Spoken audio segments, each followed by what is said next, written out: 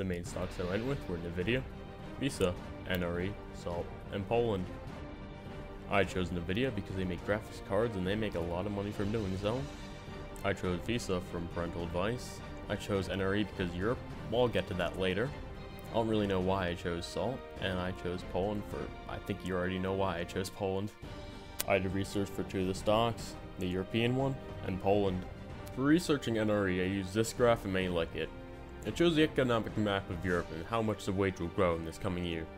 See, in the Baltic regions and uh, Central Europe, their economy is growing pretty well, just like as you see Hungary and Latvia, both over 4%. Everything's going pretty well except for Italy, Great Britain, and Spain. But in total, their economy is growing, I say, at least 3% overall. Which obviously means if you invest in them, your money will grow overall. As shown by the other map, Poland is one of the fastest growing economies in Europe. Through trade deals with America, gas line through Ukraine, they're projected to be the highest growing economy in 2020. I invested in about 5 to 7 companies at a time, it, it varied across the game.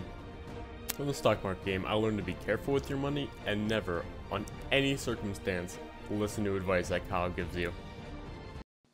Bruh, look at this dude. Wait till you see the. no, no, no, no.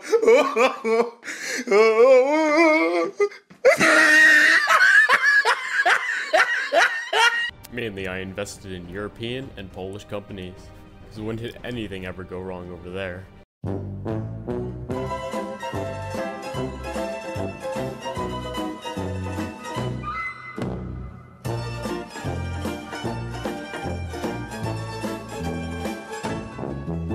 I mean, I guess so. Top 5 isn't bad, right?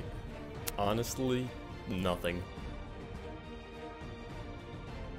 So, don't stop me now. Don't stop me, cause I'm having a good time, having a good time. I'm a shooting star leaping through the sky like a tiger